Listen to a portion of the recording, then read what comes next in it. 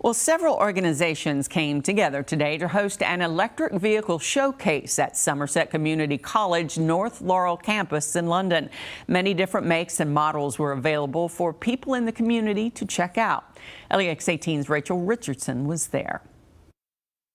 London's Rotary Club and Evolve, Kentucky's electric vehicle advocacy group, came together to host the second EV Ride Drive event on Somerset Community College's North Laurel campus. Many came out to get their questions answered. Trying to figure out whether electric is a good thing to do or just another thing that we need to be thinking about. With conversations about energy alternatives on the rise, curiosity about EVs has gone up. Electric cars have been around for decades, but showcases like this one show how far the industry has come.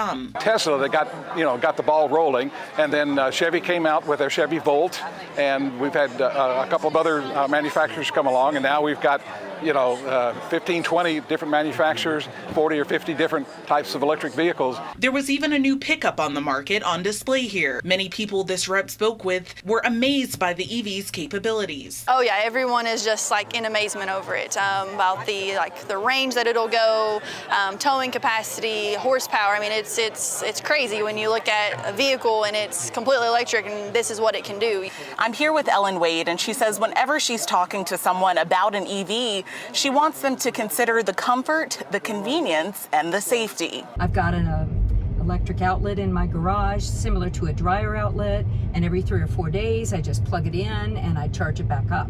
And if I have a long distance trip, there's so many chargers out there now, not just for Teslas, but for all vehicles. While electric vehicles are attracting more attention, there's still a question of cost. These advocates say that prices can vary and financial options like federal rebates can be available. Money can be saved on the back end with these cars requiring no gas and little maintenance, but what about up front? And, and they, you know, they start, you know, in the, in the low 20s and go, you know, astronomical.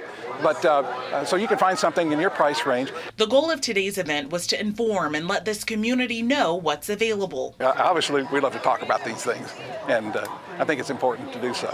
This group is recharging their batteries, preparing for more shows like this around the bluegrass.